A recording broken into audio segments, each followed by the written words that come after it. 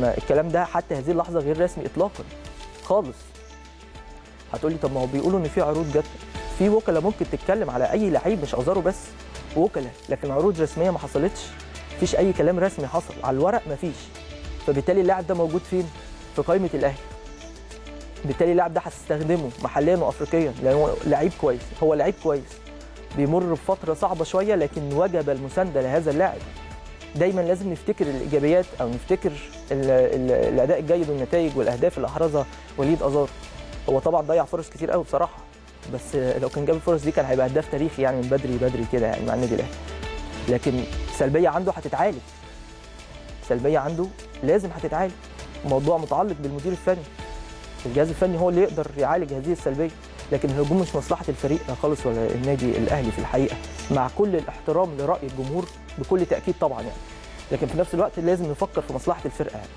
معلول يرفض عرض الترجي موضوع محسوم علي معلول مستمر مع النادي الأهلي مفيش نقاش في القصة دي ممكن يكون جاله عروض برضه شفهية عن طريق وكلاء لكن رسمي مفيش حاجة جت للنادي الأهلي.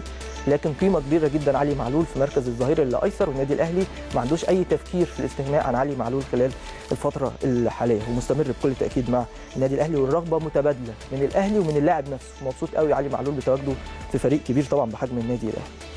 خلينا نروح لليوم السابع.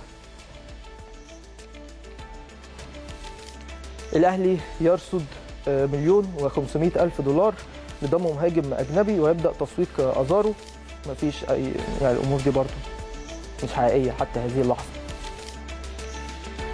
مش حقيقية حتى هذه اللحظة.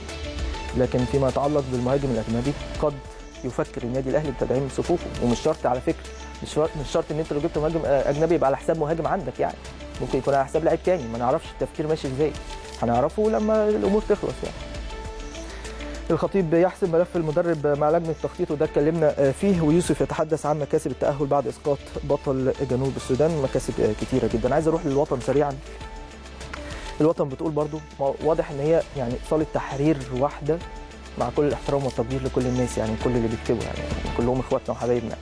الأهلي يعاقب صالح جمعة. على إيه؟ مش عارفين. مفيش أي عقاب ومفيش أي قرار رسمي خرج من النادي الأهلي. هو أصلا صالح عمل إيه؟ مش عارف. ما عملش أي حاجة. الراجل ملتزم الراجل موجود. شميت يقترب من خلافة لاسارتي ده توقع أو تكهن أو اجتهاد برضو آه رفض استمرار يوسف. ما فيش الكلام ده حتى هذه اللحظة. كابتن محمد يوسف متواجد لحد لما يتم الإعلان عن تشكيل الجهاز الفني بالكامل الجديد.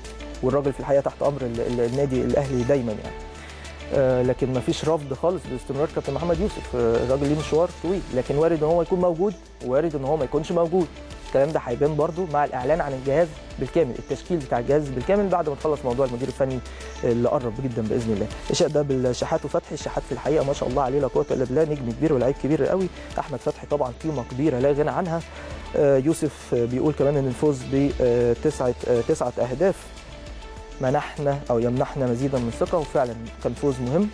بيرجع لك الثقة شوية في نفسك بعد الخروج من بطولة الكاس وكمان بيرفع من معنوياتك قبل مرحلة مهمة هتستعد فيها لمعترك أفريقي ومحلي جديد إن شاء الله بإذن الله. أتمنى كل التوفيق للنادي الأهلي. هنرجع نواصل التعليق على أخبارنا النهارده بس خلينا نروح لفاصل الأول. بعد